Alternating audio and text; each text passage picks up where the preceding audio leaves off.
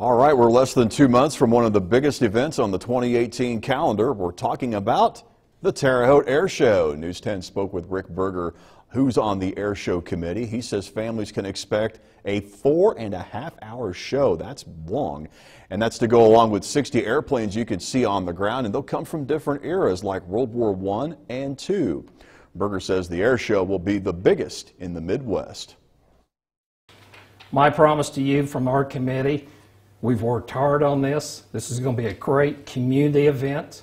Still expect, if you give us good weather, uh, 60,000 people in two days or more. So what a, what a deal here. And the Terre Haute Air Show will be held on August 18th and 19th out at the Terre Haute Regional Airport. Tickets now on sale. Hey, Eric, guess what time it is?